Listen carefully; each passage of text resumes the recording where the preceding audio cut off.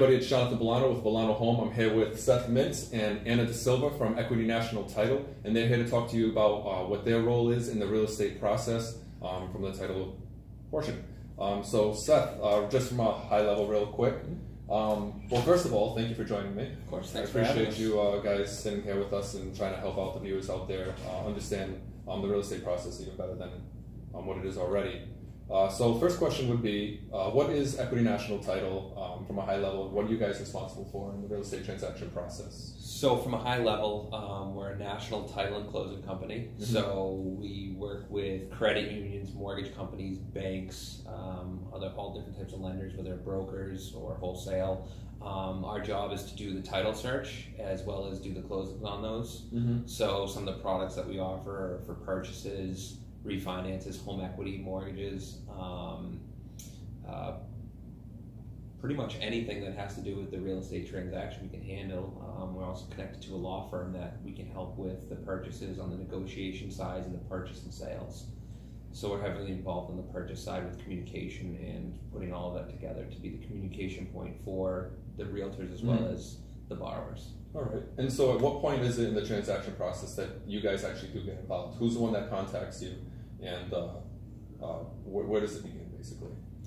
Um, it usually starts either with the real with the realtor or the loan originator. Mm-hmm. Um, they usually reach out to us with the um, either the application saying, "Hey, we've taken this application. This person is looking to purchase a home." Um, usually, they send us a purchase and sale, or they'll reach out to us and say, "We need help drafting the purchase and sale." Cool. And so, um, just jump right towards the end. What at what point are you guys there until and when you actually drop off the, the transaction process? We are there from the beginning all the way through till it closes and funds awesome. and records. All right. Um, so that's really great to hear, uh, and that's really informational for everybody out there, so that way they know um, what they need to do when they get to that point of, of the real estate transaction where you guys come into play. Um, all right. So we've uh, gotten the beginning portion, we've gotten the end portion. We know what you guys do. Um, now, what is it in between? What, what what's the process that you guys actually go through when you actually do actually get contacted by the loan officer?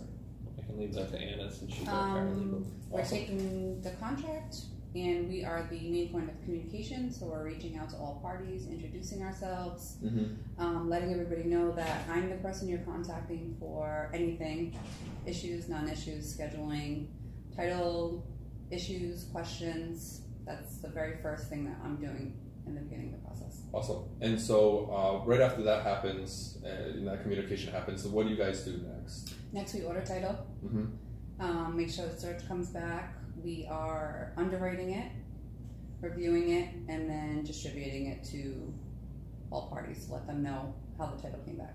All right. And so if the title comes back and let's say there's a lien um, or there aren't any liens that are, are there per se, um, what happens from there? From there, um, our communication is directed towards a listing agent, seller, or seller's attorney, Mm-hmm. um, so they can help us obtain the information that we need to clear the title. Cool. All right. Um, so then you communicate that with the agent and then pretty much get to the point where they're good to close. Yep. So once we get all that information in, um, our title is clear to close. Mhm. We're now communicating with the lender.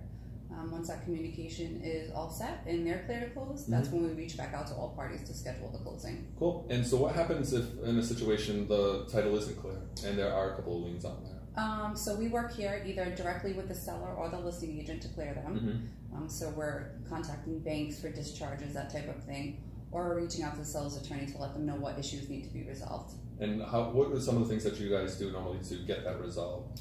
Um, it would depend on who's handling it, but if we're handling it here for the seller, Mhm. we're working with them to get account numbers, bank names, that type of thing, so we can call them and figure out what we need to get to Cool. close. So you basically help them fix out the, the liens are on the property. Yep, or any title issue, to be honest with you. Great. And I think um, one of the last times that we spoke about this, um, this is really not anything that you guys can't do as far as figuring out how to get this stuff taken care of. Nope, haven't come We've across that pretty once. much seen it all.